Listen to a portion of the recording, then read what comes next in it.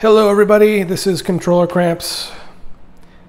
Let's talk about Hell Fest, shall we? If you are one to check the review aggregate websites such as Rotten Tomatoes or Metacritic, uh, they gave it mixed reviews. Rotten Tomatoes has it at uh, 39%, Metacritic has it at 26%. But I don't listen to them. I like to judge a movie on my own while watching it, which I did. So here's my review. Uh, the film starts with a girl that is separated from her friends at a horror theme park. And uh, she gets stalked and slashed and murdered by a masked serial killer known as The Other. Although in the movie, I don't think I ever heard them name the guy, but I guess that is what the name of the guy is. He's called the Other, the serial killer. Uh, fast forward, we meet another group of friends um, Natalie, Brooke, and Taylor. They're all uh, sort of college friends. and they're discussing acquiring VIP tickets to Hell Fest, which is a horror theme park uh, from a guy named Gavin who happens to have a crush on Natalie. Uh, the friends arrive to the park in the mood to party.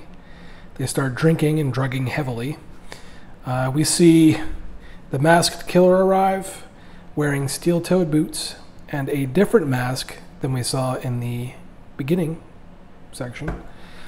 Uh, soon after, the group of friends begin to be separated, stalked, and brutally murdered.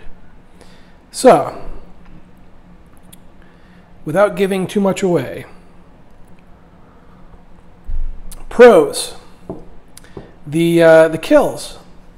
This is number one. The kills very brutal, and some great gore effects. I really enjoyed the the kills. It's probably the best part of the movie. Uh, number two, the killer. I like the way he's dressed. I like the mask, and uh, also like the way he acquired his weapon, which you'll you'll see in the if you watch it yourself.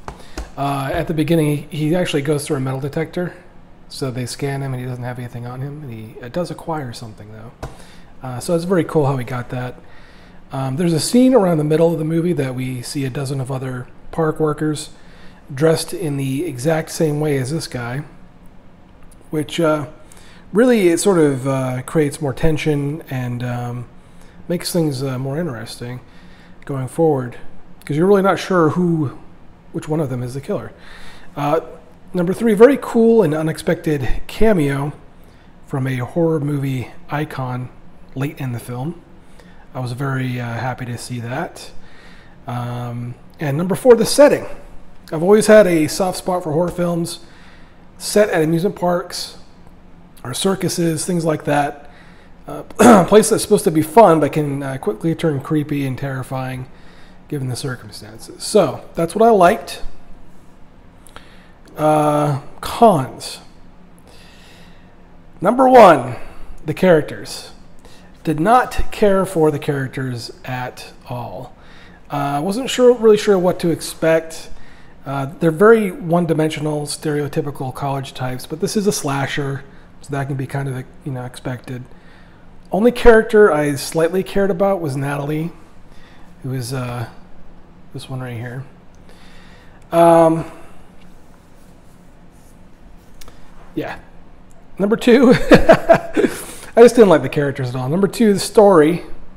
Uh, pretty run of the mill and uninteresting. Uh, at the end of the movie, there is a little bit of more lore building, but it's like at the very, very end. The rest of the movie is very run of the mill. It's it's it's it's your standard slasher fare. Uh, and then the runtime for me was a little bit short. It's uh, it runs 89 minutes which is almost, you know, it's almost an hour and a half, but I think they could have done with another 10, 15 minutes to kind of help build the lore and uh, get to know the characters a little bit better because the characters were very one dimensional. So, overall, Hell Fest is a serviceable slasher movie. It doesn't break any new ground. If you are an old school slasher fan, you'll probably like this. If you don't go into watching the movie, with high expectations. Um, overall, I'd like to give this one a 5.5 bloody mallets out of 10. And that's about all. Thanks for watching, everyone. Have a good night.